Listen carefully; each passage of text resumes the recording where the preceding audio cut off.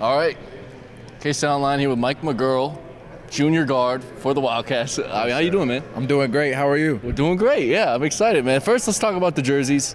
I mean, from last year, I mean, the years you've been here, what do you think of these new threads? Yeah, I mean, uh, they've been new jerseys every year, and they've been fire every year.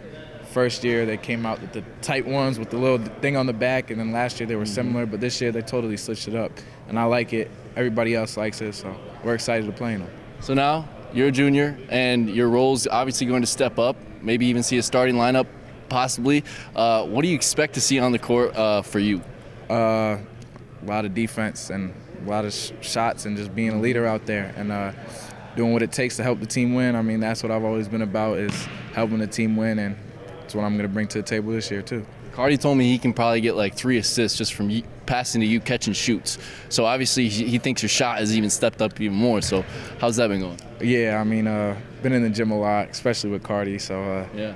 really looking forward to the year. I mean, Cardi, Cardi's been doing a great job of creating for others, and so like when he comes off a pick and roll, I'm probably gonna be open because he draws so much attention. So yeah, that works. Is there a? I mean, I don't know if this has been asked yet, but do you do do you have a different hairstyle for each each year you're here?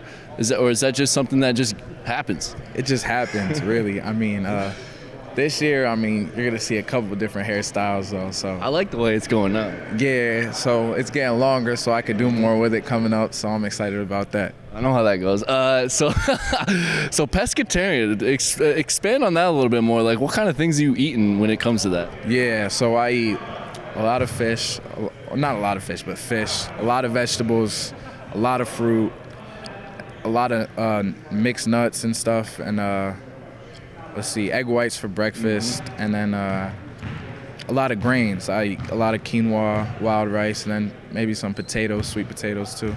And I just want to school people on what you think of like the new guys, especially DaJuan and David Sloan, obviously playing the guard positions. What are your thoughts on those two dudes? Yeah, they're both really good. They're both going to come in, play for us, and uh, two really good players. Two people that really care about the game, come in this gym and work hard, and uh, they've been tested so far, and they've been worked hard so far, and been really grinded and pushed, and they've been Yeah. responding well so far. So I expect them to keep doing so. And then Montavious and Antonio. Let's finish up with those two. What do you think you've seen from them in practice and stuff? Yeah, those two, those two go really hard. Yeah. and uh, regardless of what happens, they play their butts off, and uh, they're both really versatile and active.